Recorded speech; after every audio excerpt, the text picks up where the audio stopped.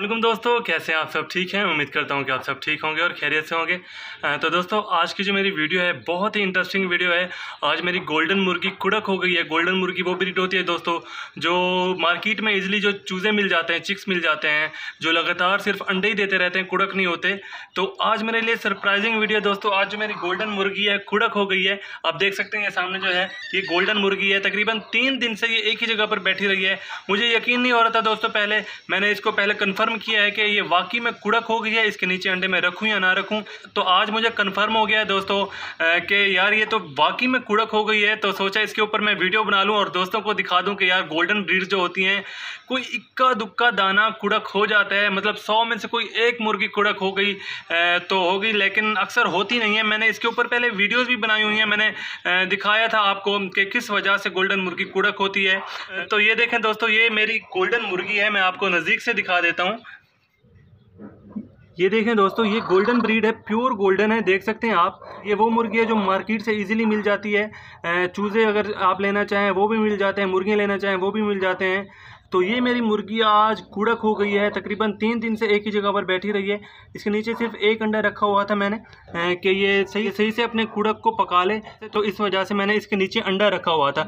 लेकिन आज वो अंडा मैंने हटा दिया है और और मैंने सोचा है कि इसको अब अंडों पर बिठा दिया जाए। मैं इसके नीचे तकरीबन पाँच से सात अंडे रखूँगा, क्योंकि इसकी जो जिसामत है बहुत ही छोटी है, तकरीबन देख सकते हैं, ये प्योर गोल्डन ब्रीड है दोस्तों।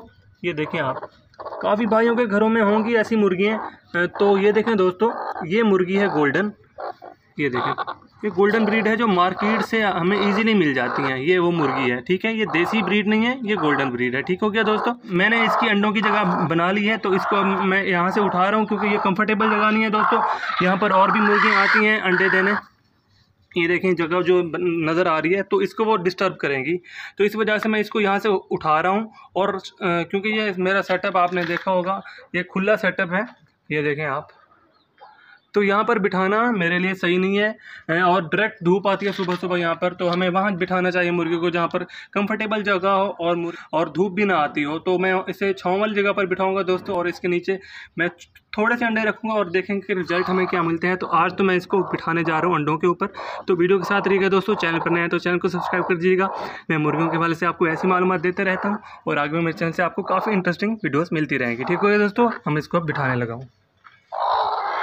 तो दोस्तों देख सकते हैं आप, मैंने मुर्गी का यहाँ पर सेटअप बनाया है कि यहाँ पर ये अंडों पर बैठेगी। ये मेरा दूसरा पिंजरा है दोस्तों। तो इसलिए मैंने यहाँ पर बिठाया दोस्तों, क्योंकि यहाँ पर मैं मुर्गियाँ बंद नहीं करता, सिर्फ़ अकेली ये मुर्गी बैठी रहेगी, सुकून से बैठी रहेगी, कोई भी इसको मुर्गी और तंग नहीं करेगी। और यहाँ पर देखें ऊपर मैंने शेड दी हुई है तो छाँव होती है सारी, क्योंकि मौसम गर्म है तो छाँव का होना बहुत लाजमी होता है। तो दोस्तों, इसको अब मैं बिठाने लगा हूँ।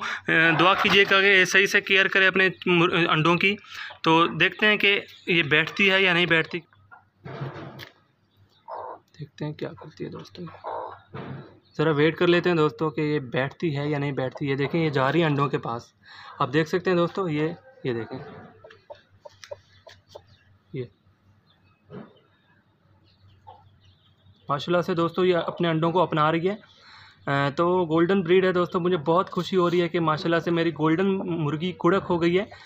तो दुआ कीजिएगा दोस्तों, ये सही से केयर करें अपने अंडों की, क्योंकि ये फ़र्स्ट टाइम मैं बिठा रहा हूँ किसी गोल्डन मुर्गी को अंडों के ऊपर। क्योंकि ये मुर्गियाँ कुड़क तो नहीं होती, तकरीबन सौ में से कोई एक आध मुर्गी कुड़क हो गई तो होगी, लेकिन वो भी नहीं होती, ठीक हो गया दोस्तों? मैं खुद हैरान हूँ कि मेरी मुर्गी ये कुड़क कैसे होगी। तो देख सकते हैं दोस्तों, अभी अपने अंडों को अपना रही है। तो आज जो तारीख है सतारह तारीख है तो, तो तकरीबन 21 दिन तक ये अंडे अंडों में से चूज़े निकालेगी। तो आपको मैं ज़रूर दिखाऊँगा कि हमें किस तरह का रिज़ल्ट देती है। तो ये अब अंडों को रोल करने लगी है दोस्तों। तो यार ये अपने कुड़क को सही से नहीं मल रही क्योंकि इसकी जिसामत छोटी और मैंने अंडे रख दिए हैं ज़्यादा। तकरीबन आठ अंडे रखे हैं तो मैं सोच रहा हूँ ये जो अंडे इसके नीचे नहीं हैं ये मैं हटा दूँ, जैसे ये अंडा है, बिल्कुल ठंडा हुआ पड़ा है। इसका मतलब ये होता है कि ये इसके जिस्म के नीचे नहीं आ रहा, इसकी छाती के नीचे ये अंडा नहीं आ रहा। तो इसको भी मैं अलग कर रहा हूँ दोस्तों। तो और देखते हैं कि और कौन से इसके नीचे नहीं आ रहे, कौन से अंडे ठंडे पड़े हुए हैं। ठीक हो गया दोस्तों, ये तकरीबन ये ठीक है। एक ये ठंडा पड़ा हुआ है दोस्तों। तो ये तकरीबन आठ थे, अब मैंने दो उठा दिए अंडे। तो दूसरा अंडा भी मैंने उठा लिया। तो तकरीबन अब बचे हुए हैं छः अंडे दोस्तों। तो इसकी जिसामत बहुत छोटी है दोस्तों। तो देखें आप ज़रा। ये अब छः अंडे इजीली अब मेरे ख्याल में अब संभाल लेगी क्योंकि इसके जिसामत के मुताबिक छः अंडे काफ़ी हैं इसके लिए। मैंने आठ अंडे रख दिए थे तो ये मेरी गलती है क्योंकि जिसामत को देख के अंडे रखने होते हैं तो मैंने सोचा शायद ये संभाल ले लेकिन आठ अंडे भी इसके लिए बहुत थे तो ये बाहर निकले हुए थे तो, तो फ़ायदा इनका नहीं था। दूसरे अंडों को भी ये को भी ये सही से हीट ना दे पाती इन दो अंडों की वजह से। तो मैंने वो दो अंडे हटा दिए हैं ताकि अब ये जो छः अंडे हैं सुकून से अब ये इनको हीट दे पाए। ठीक हो गया दोस्तों?